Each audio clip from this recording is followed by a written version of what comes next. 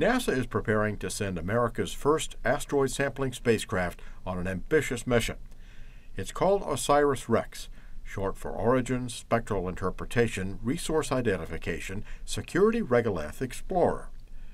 OSIRIS REx is launching on a United Launch Alliance Atlas V rocket on a mission to the near Earth asteroid Bennu.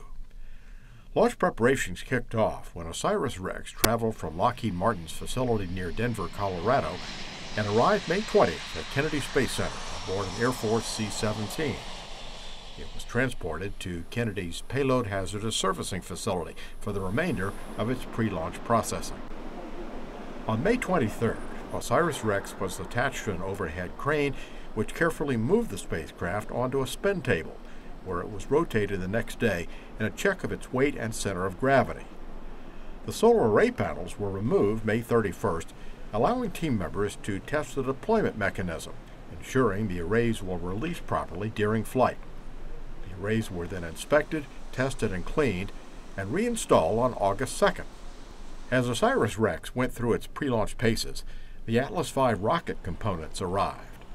The Centaur upper stage was delivered by truck to Cape Canaveral Air Force Station's Horizontal Integration Facility on July 20th. The first stage booster reached Port Canaveral aboard the Delta Mariner barge on July 29th. Both elements were processed in the Atlas Spaceflight Operations Center before moving to Space Launch Complex 41, where they were assembled vertically, first the booster on August 8th, then the rocket's single solid rocket motor a day later then the Centaur upper stage on August 11th. The OSIRIS REx spacecraft was sealed in the protective payload fairing August 24th.